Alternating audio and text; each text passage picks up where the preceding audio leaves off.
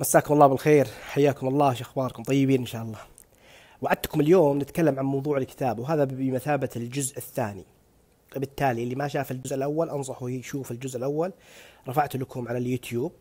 تكلمت فيه عن اكتتاب أرامكو طبعا بعد ما نشرت الجزء الأول اكتشفت أنه في أسئلة الصراحة وللأمانة هي بالنسبة لي أسئلة بدائية. لكن من حقكم علي أني أنا آه، أشرح لكم هذه الجزئيات اللي قد تكون للبعض آه، بدائية أو سهلة أو بسيطة آه، لكن راح نخصص الليلة نتكلم عن الاكتتاب عموما بطريقة مبسطة للأشخاص الغير متخصصين بالتالي إذا ما شفت سنابات الجزء الأول ادخل اليوتيوب اكتب عاصم الرحيلي اكتتاب أرامكو وبتطلع لك أول نتيجة أكثر سؤال وصلني هل أحتاج محفظة؟ هل أحتاج محفظة استثمارية عشان اكتتب في أرامكو آه عموما كجواب عام أي شخص يحتاج إنه يتملك أوراق مالية يعني صناديق استثمارية أو سندات أو صكوك أو أسهم هذه كلها أوراق مالية يحتاج محفظة. أنت اليوم عشان تحط فلوسك آه، في البنك تحتاج حساب جاري على سبيل المثال. وإذا تحتاج تتملك أوراق مالية تحتاج محفظة استثمارية. جيد؟ لكن حسب الإعلانات اللي أنا شفتها يبدو والله العالم أنهم راح يسمحون آه للأفراد بالاكتتاب بمجرد آه وجود حساب جاري فبالنسبة للأشخاص اللي يبغى يكون أكثر حذرا الأفضل إنه يفتح اليوم محفظة استثمارية واليوم تقدر تفتح محفظة استثمارية عن طريق الشركات المالية وتقدر تسويها حتى أونلاين بدون ما تروح لهم. طيب وش الشركة المالية الأنسب عشان أفتح محفظة استثمارية؟ هذا مثل واحد يسألك يقول لك من وين أشتري أفضل بيبسي؟ البيبسي في كل مكان نفس الشيء ما يفرق. فروقات قد تكون بسيطة لكنها للمستثمر العادي أو المستثمر المبتدئ ما راح تفرق معه. أنا شخصيا أحب أتعامل مع شركة دراية المالية و آه، آه، لو تدخلون تويتر تلقون حطيت رابط شلون تفتح حساب مباشرة معهم آه، وراح تقدر تفتح الحساب الاستثماري والمحفظة الاستثمارية عن طريق الموقع بشكل مباشر. المحفظة الاستثمارية قلنا أنها هي الشيء اللي تحط فيه الأوراق المالية والحساب الاستثماري اللي تحط فيه الفلوس اللي أنت راح تشتري فيها أوراق مالية. طيب من الأسئلة اللي قاعدة تجيني بكثرة هل ناخذ قرض عشان نكتتب؟ هل أبيع الأراضي اللي عندي؟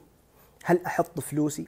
عموما كقاعدة عامة قاعدة عامة ما أتكلم عن أرامكو أتكلم كقاعدة عامة في الاستثمار. الاستثمار دائما التنويع. دائما تنوع استثماراتك مهما كنت واثقا من هذا الاستثمار. الاستثمار مع التنويع يقلل مخاطرك. ركزوا على هذه الجزئية.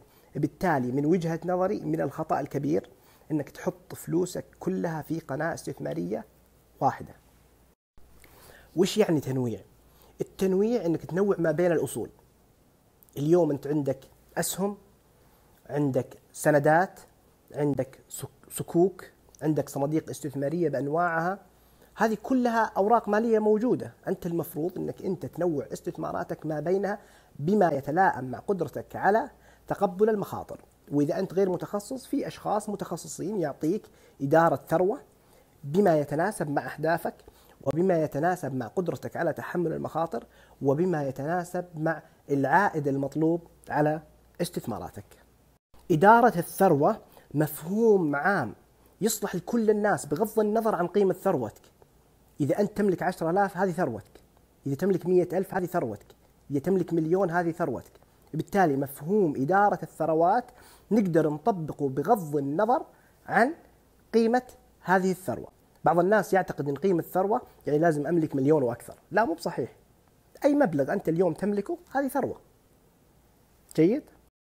وعشان نكون أكثر دقة في مفهوم الثروة عادة قيمة صافي الثروة يعني قيمة أصولك ناقصا قيمة خصومك. فعلى سبيل المثال لو أنا عندي مبلغ في الحساب الجاري مثلا مئة ألف ريال على سبيل المثال والبنك يطلبني على سبيل المثال ستين ألف ريال مثلا أنا قيمة سيارة لسه قاعد أسدد فيها.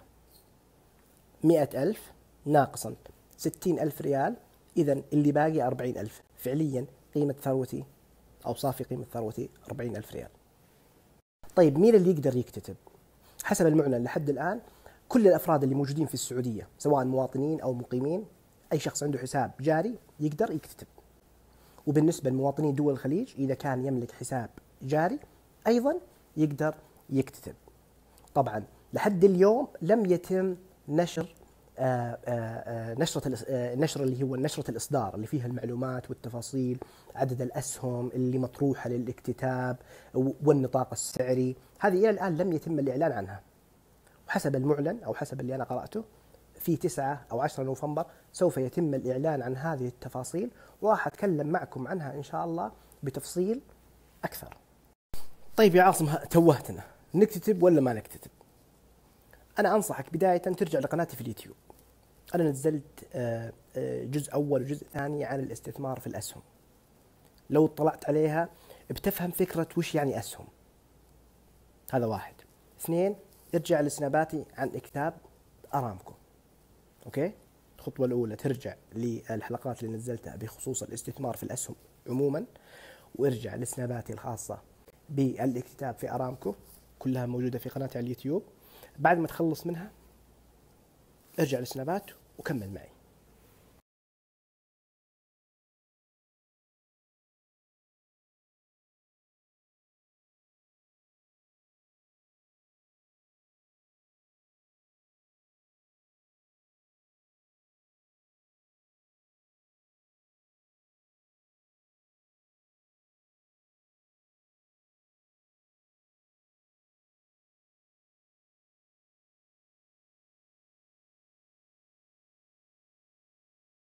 كم الحد الأدنى للاكتتاب؟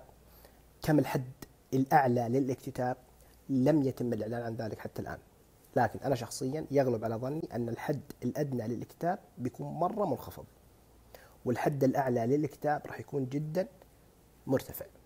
الاكتتاب راح يكون عن طريق مين؟ راح يكون عن طريق الشركات المالية المرخصة من قبل هيئة سوق المال في السعودية. بالتالي أي جهة خارجية تقول لك تعال اكتتب أو توعدك أي وعود تجاهلهم تماما. مهما حاولوا يغرونك مهما حاولوا يضللونك يتصلون عليك من رقم ثابت يتكلمون بلغة معينة عندهم موقع تجاهلهم تماما.